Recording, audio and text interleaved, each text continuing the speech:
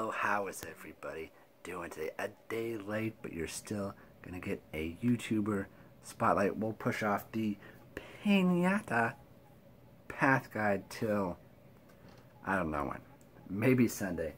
Tomorrow, my wife and I are going to go to a Mewtwo raid, so that'll be fun. It's actually for her, not me. So we'll film some of that. But, sorry, that was news. Let's get to the point of the video. This is the second to last YouTuber Spotlight. And this is someone who will report the news right away. Any Skylander news, really any Toys to Life news. Does great with Light Seekers.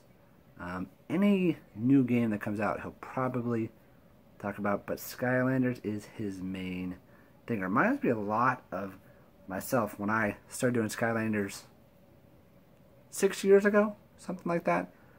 I'd like to pump out those news videos, anything I would find, when I really would search for information, that's what he does. And he's been doing it for a while.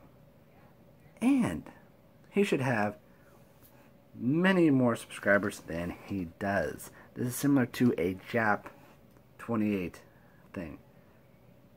Should have crazy amount of subscribers, but let's see how many he has. 1575, that's it. That is crazy. Yep, you've probably guessed it. This is Portal Master 9351. But it has a great following in the Skylanders community. If you check it out, all the Skylander vids have really good views. I didn't know he did Rabbids. I just noticed that. So go give Portal Master 9351 a follow. Interesting note, I think Steve Smith is the one that told me about him originally. And I know most of you will probably be subscribed. If you're watching me, you're probably subscribed to him. In case you're not, go do it right now. We'll see you very soon. One more YouTuber spotlight next week. I've saved this person for last on purpose. Be busy weekend, like I said. We'll try to do Pinata. And then we have some Pokemon Go stuff to do. We'll see you very soon. Subscribe to Portal Master 9351. He is the best for news.